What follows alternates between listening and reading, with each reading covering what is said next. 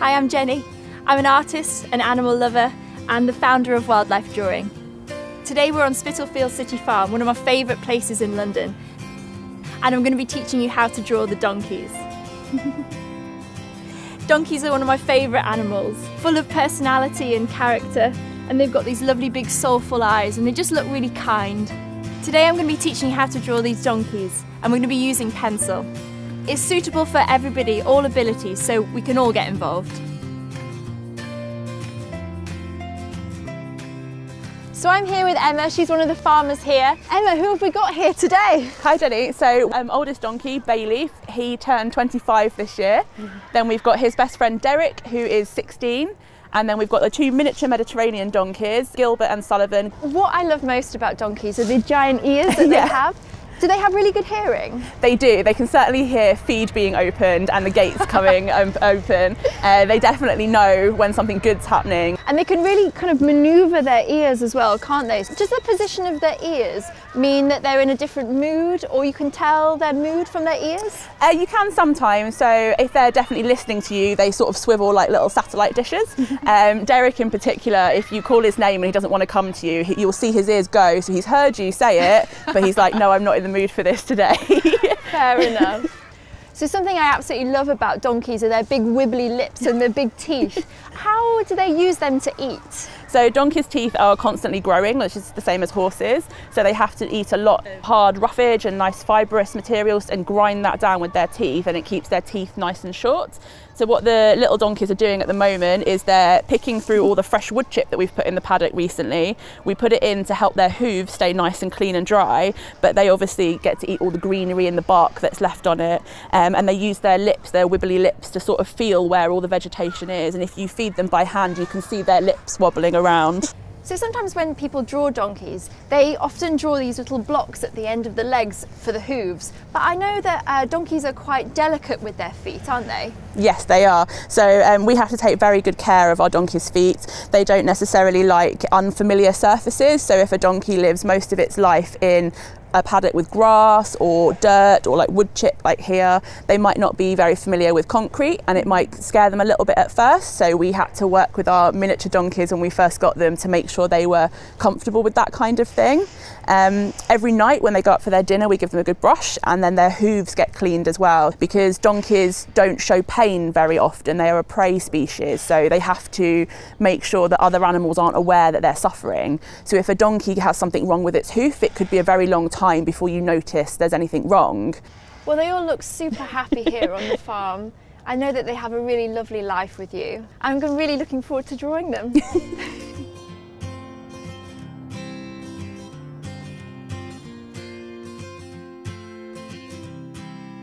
So I hope you enjoyed learning about donkeys on the farm. I'm now going to show you how to draw a donkey and the reference image I'm using is one taken from the footage that we filmed on the farm. That's coming up later so you can choose your own reference image and take a screenshot to work from. It's important to think about what kind of portrait you want to create. So I had a little go, these are a few that I made earlier, um, and I had a little sketch of the donkey's face, um, but also I had a go at drawing the full donkey, and that's what I'm going to teach you today. So we get all of the hind legs and the tail and the ears, the, the whole donkey. So I've got a lovely screenshot here of Derek standing proud in the middle of his field, and that's what we're going to work from today.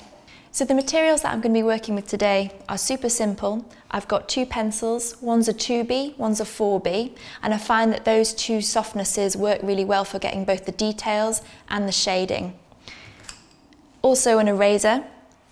The eraser is your friend. um, and I've got a pencil sharpener to keep the pencils nice and sharp and also some paper.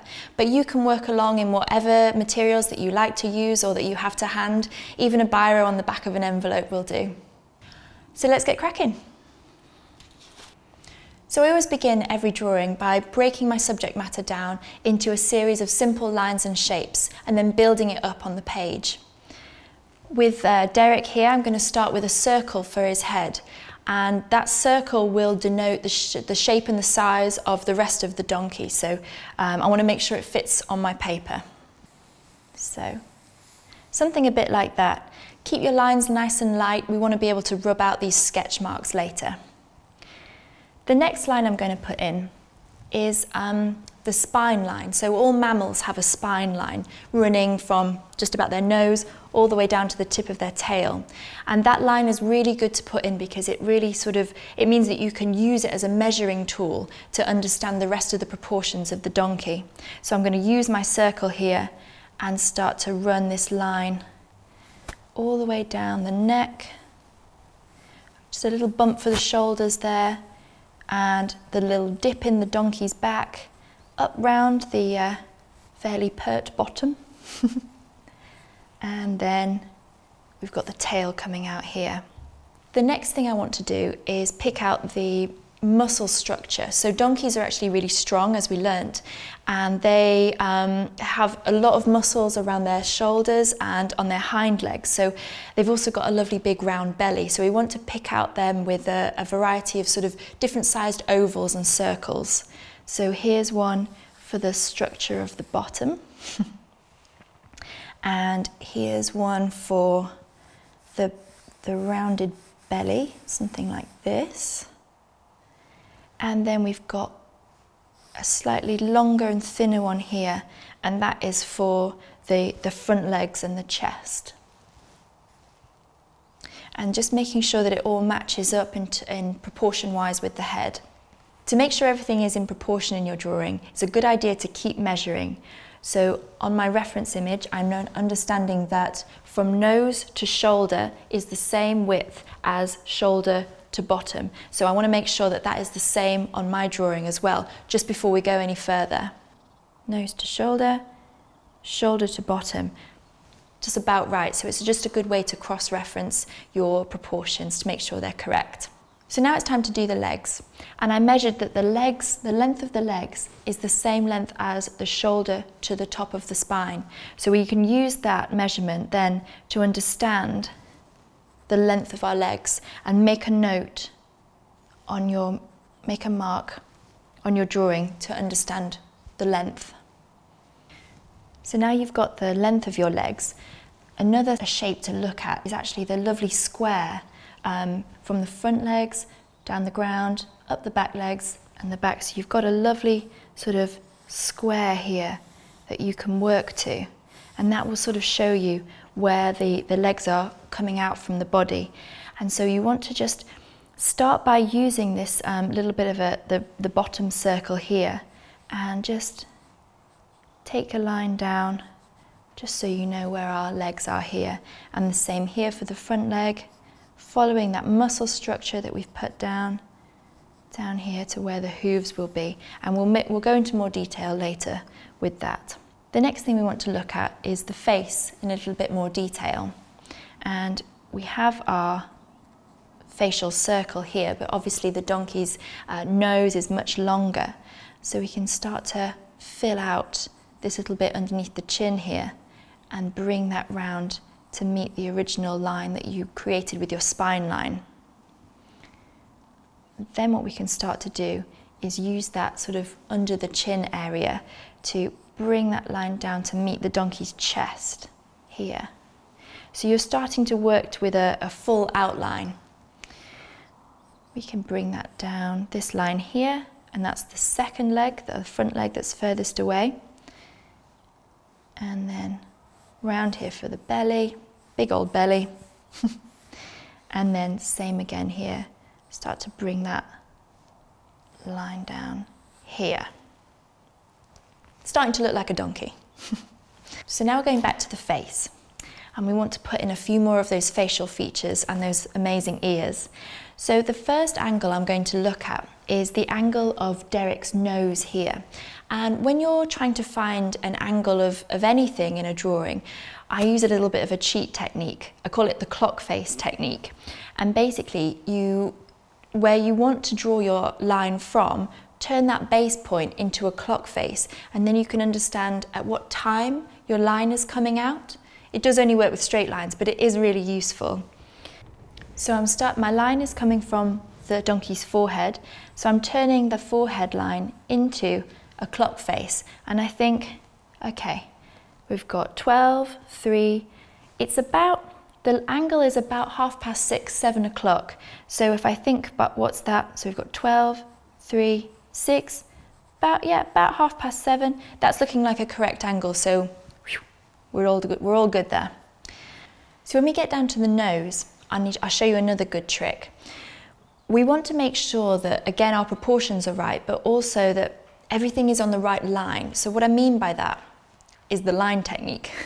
so when you're uh, in, on your reference image, you can draw a, a, horizontal or vertical line all the way from a point on your drawing and then follow it across the rest of the subject matter.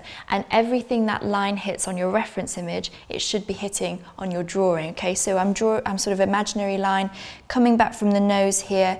I can see that it's hitting the top of the shoulder. I can see it's hitting where the back leg meets the um, bottom. And I can see that it's here hitting that little sort of corner edge on the very back of the donkey. So I am confident that my nose is in the right place. So we can go ahead. And donkeys have got these lovely um, rounded, sort of rubbery nostrils, um, really quite big and flared. And then they've got these amazing big lips as well, big wibbly lips. So um, be quite generous when you're drawing the, um, the lips of the, the donkey and make sure you've got that lovely bottom lip in there as well.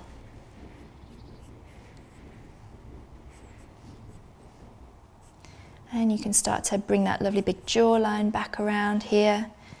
And because Derek's got a slightly darker kind of patch around his mouth and nose, we can start to just add a tiny bit of shading in there. Something else to include in is the lovely little patch. So where the hair gets a little bit shorter around the nose, that's a kind of key donkey characteristic, so always pop that in.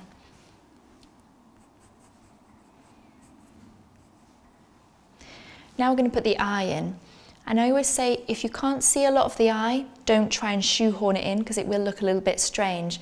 But donkeys have these big soulful eyes and I can sort of see Derek's peeking out from under his fringe of uh, mane. So we'll try and pop a little bit of it in. Again, we can use our line method to make sure that it's all right. And so I can line it up with the bottom lip here.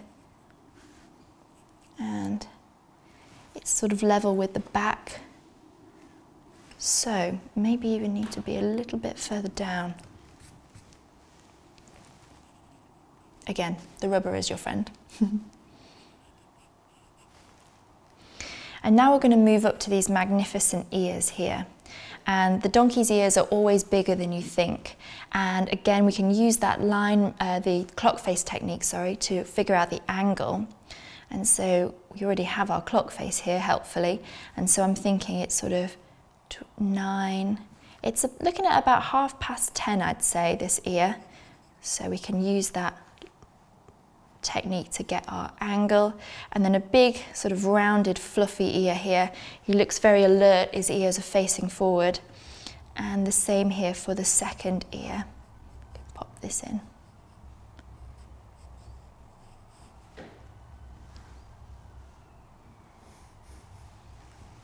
And at this point as well, you can take out any of your sketch lines that are, you know, confusing you a little bit. Um, it's good to have a nice clean canvas when you're adding in extra details.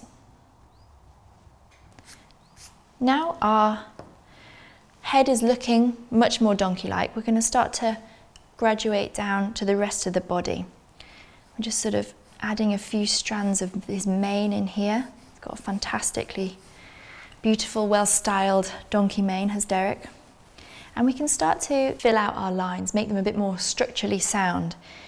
And we're going to start by coming again down the back here and just giving our outlines a bit more oomph. There we go. And so as we start to have a look at the legs, Pay real attention to your reference image. We want to make sure the joint structure is right, but we also want to have a look at the difference between the front legs and the hind legs. The hind legs have uh, almost like a backwards knee, so the angle is very different. The front legs are a bit easier, they're straight up and down. And then we'll get to the hooves, which is the really tricky bit. so we're going to start by bringing Derek's chest out slightly more here He's a big donkey. We want to fill him out a little bit. He looks a bit skinny here at the moment. And again, we can use our line method to make sure we've got our legs coming in the right place. A good tip is that you can line up the bump for the shoulder blades and that should be the direct line coming down for your legs. So, so when we're looking at the legs, have a real look at the joint structure. We can notice that the knee is pretty much equidistant between the hoof and the shoulder. So again, we can use that measurement to really help. And what I find really helpful is to um, actually almost put a little little circle in where the knee joint is, so you know where it is, and you can then shape the leg around it.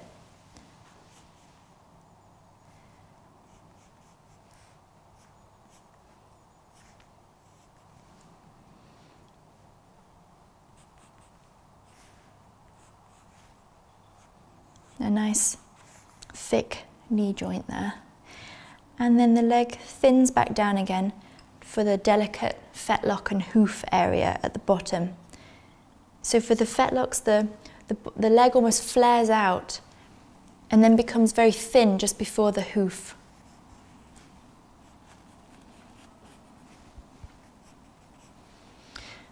And then we'll draw the second front leg. Make sure there's a good bit of chest for your donkey in between those two front legs.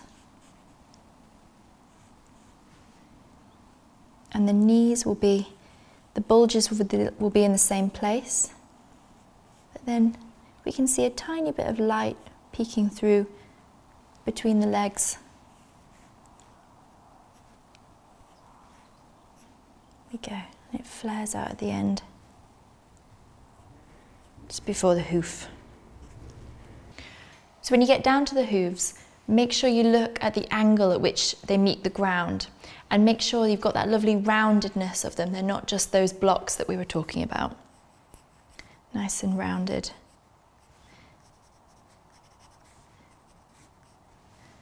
Okay, now we'll head down the furry belly. So at this point, again, you can start to take out any lines that you don't feel are quite right. And, and I often like to use my pencil marks to emulate the fur.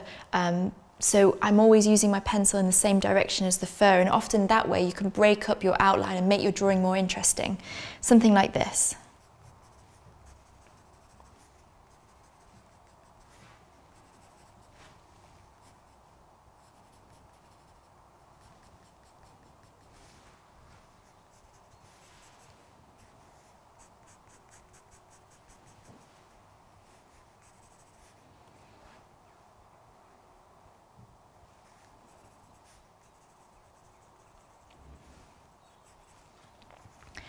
And then we get to our back legs.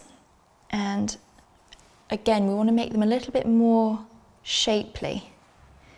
So I'm going to bring this line down here. And I can see that the, the knee joint is just about on the same level. So we can add that little circle in there to make sure we know where that joint structure is. And then a little bit of a kick back out here and then down to those delicate hooves again. Same the other side, although the angle at which I'm looking at Derek's hind leg, it does look straighter than it actually is. And then we'll draw the second hind leg in, which a little bit more interesting behind there. And then down for the hoof.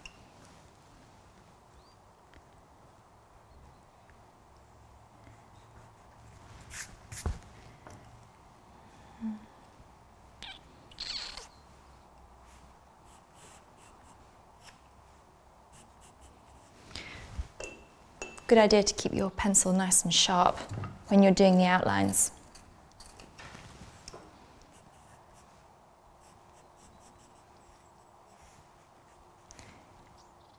And then again, nice and rounded for the hooves there.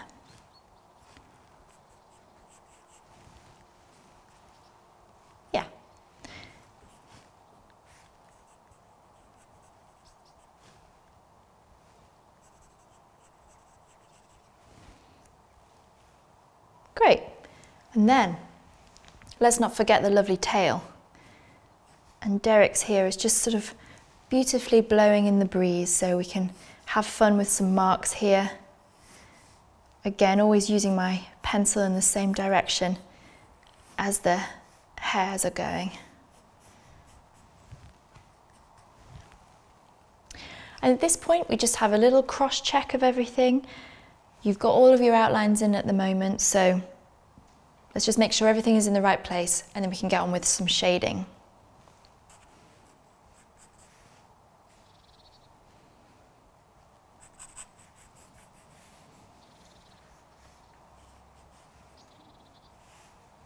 So once you're happy, now it's time to do some shading. Now I'm going to go for my slightly softer pencil for this, 4B, so I can get lots of lovely depth. When you're starting to shade your subject matter, it's a good idea to have a little look at where your light's coming from. So in the reference uh, image here, I can see that obviously the light is coming down from the sky. Um, so the top of Derek's back is catching the, the light um, and the darker parts will be underneath his belly, his legs, underneath his chin, those kind of areas. So keep that in mind when you're shading. So we're going to start by picking out some of the areas um, where Derek is at his darkest. So I'm going to start here on the neck. So again, as I'm shading, I'm, I'm also creating texture. So I'm using my pencil, as we said, always in the same direction as the fur is going. And I'm building up lots and lots of repetitive lines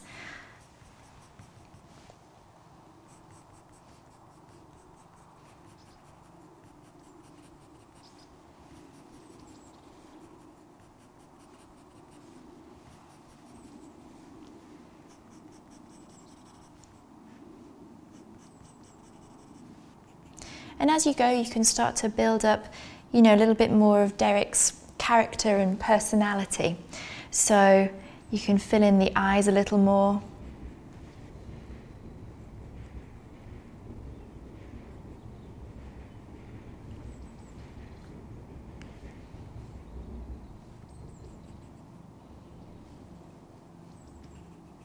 You can give him this magnificent fringe that he's got going on.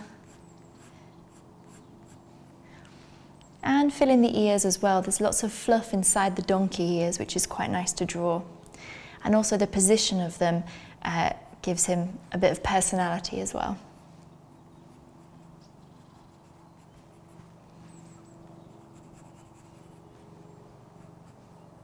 So at this point you can just have a little bit of fun with it really. Experiment with your mark making.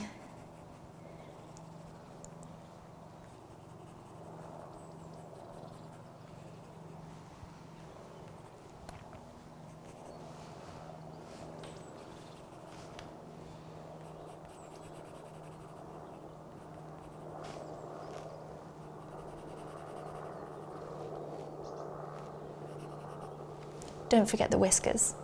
Donkeys have lots of whiskers. and as you start getting into the shading, you'll notice that your pencil is capable of a variety of tones and sometimes I like to draw myself in a little tonal scale. And what I mean by that is this. So on the side of my paper, I'll do a little area of shading where I'm pressing down really hard and the, I'm, I'm going as dark as the pencil is capable of. And then the next little bit, I'll do a slightly lighter one. And then after that, slightly lighter still. So we're going now through just the grey scales. And I'm just adjusting the pressure that I'm applying to the paper each time until we go all the way down to the white of the paper. I think drawings that have all of these tones in create a real sense of drama and it makes you want to look at the drawing.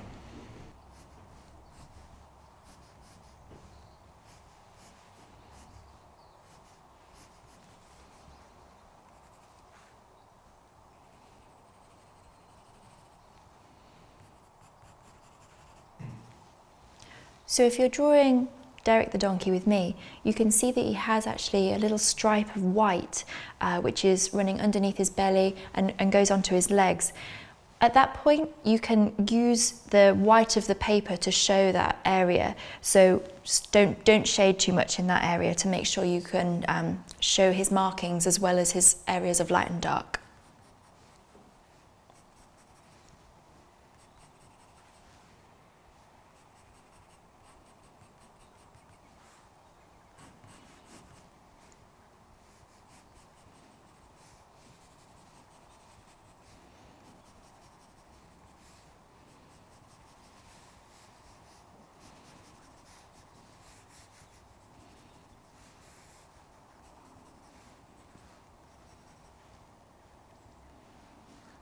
Another good thing to remember is that you don't have to draw every single strand of hair.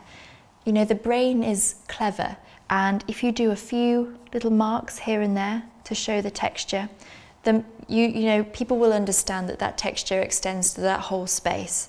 So don't worry about overdoing it.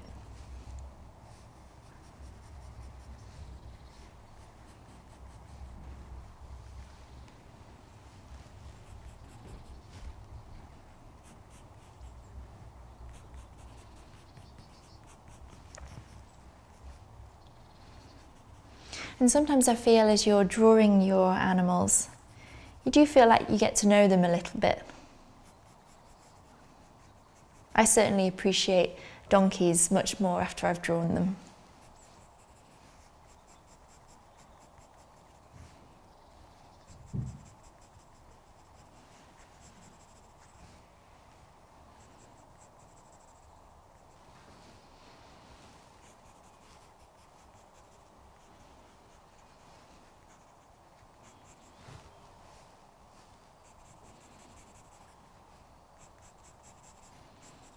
So it's often this part when I get to shading that I find myself really calm and I'm really focused on what I'm doing. Drawing is a really mindful activity anyway, and actually, um, when you're doing it, it accesses the same part of your brain um, as when you're meditating. So there must be something good in it.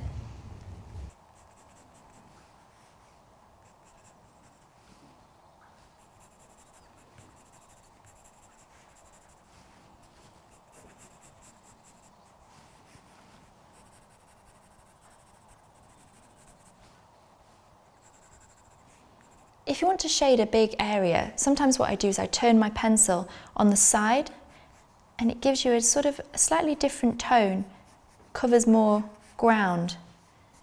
It's sometimes kind of nice to have a variation in your pencil marks.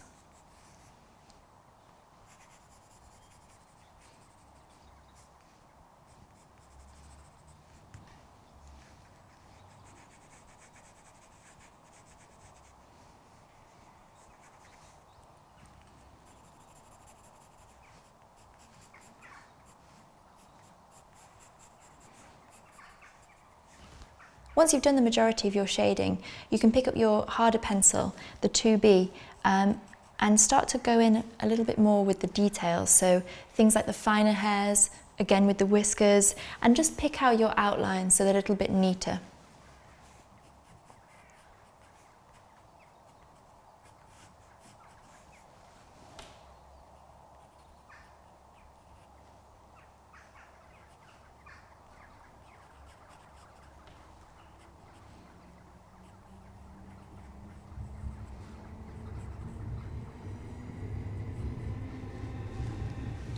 So I think my drawing of Derek is almost there. It's important not to overwork your drawing, so if you're pretty happy with it, step away, have a look. It might not need any more. But there are a few finishing touches that you might want to add. And we want to make sure our donkey looks like he is on the ground, you know, there's gravity there. So I always find it's really helpful to add a little bit of sort of shading, just a little something to show that our donkey is stood on the ground here. And so I'm using my pencil again on the side, just adding a few kind of lines here, just to show the ground so Derek isn't floating in midair. And you can also add a few, you know, bits of lines to show some grass, some of the wood chip here maybe, you know, just give him a little context.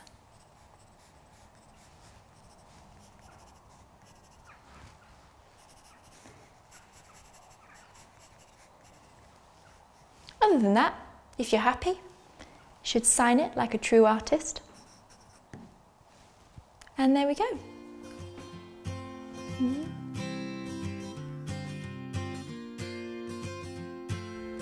So you've seen me have a go, now it's your turn.